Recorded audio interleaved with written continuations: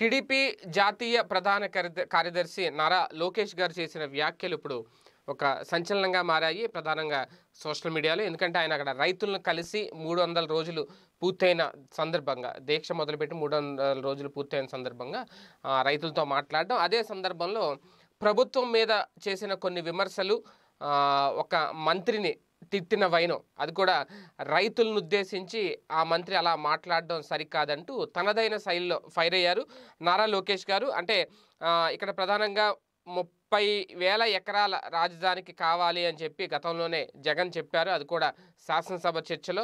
అన్ని ప్రాంతాలకు సమదూరంలోనే రాజధాని ఉండాలని చెప్పి ఆయనే గుర్తు చేశారు. కానీ ఇప్పుడు ఫ్లేట్ ఫిరాయించారు అనేది ప్రాంతాల మధ్య చిచ్చు పెట్టడం కోసమే చిచ్చు పెట్టాలనుకోవడం లేదు అని చెప్పిన జగన్మోహన్ రెడ్డి గారు ఇప్పుడు చేసే పని ఏంటి అనేది.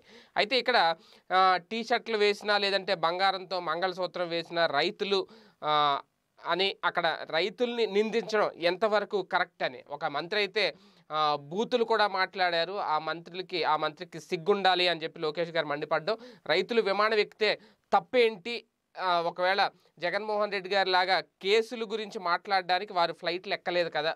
తమ సమస్యలు చెప్పుకోవడానికి విమానం ఎక్కారు. అందులో తప్పేంటి అని చెప్పి ప్ర- ప్రశ్నించారు. అమరావతి కోసం న్యాయం చేయాలి అని చెప్పి కోరేందుకు ఢిల్లీ వెళ్ళారు. దాన్ని కూడా నోటుకొచ్చినట్టు మాట్లాడడం సరికాదు అంటూ ఇప్పుడు తాజాగా నారా లోకేష్ గారు తనదైన శైలిలో ఒక విమర్శ అయితే చేశారు. అంటే ఈ మూడు వందల రోజులు పూర్తయిన నేపథ్యంలో వాస్తవానికి అక్కడికి ఆ ప్రాంతానికి ఆ నారా లోకేష్ గారు వచ్చి మాట్లాడడం అనేది నిజంగా ఒక హైప్ క్రియేట్ అయ్యింది ఈ మూడు వందల రోజు అనేది. లేదంటే పరిస్థితులు పరిస్థితి అలా. ఎందుకంటే చంద్రబాబు గారు ఇలాగా రాలేదు.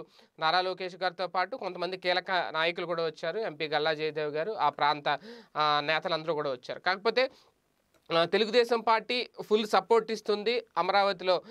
వాళ్ళు చేస్తున్న దీక్షకు రైతులు చేస్తున్న దీక్షకు. అయితే అదే నేపథ్యంలో ప్రభుత్వాన్ని ఎండగట్టడమే లక్ష్యంగా ప్రభుత్వం తీసుకున్న నిర్ణయానికి నిర్ణయానికి వ్యతిరేకంగా మాట్లాడడం మంత్రిని ఉద్దేశించి కీలక వ్యాఖ్యలు చేయడం.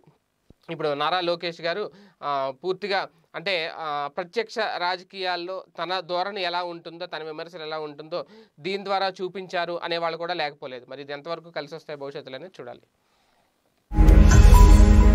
ఈ వీడియో గనుక మీకు నచ్చినట్లయితే లైక్ చేయండి షేర్ చేయండి. మరిన్ని వీడియోస్ కోసం మా ఛానల్ను సబ్స్క్రైబ్ చేయండి.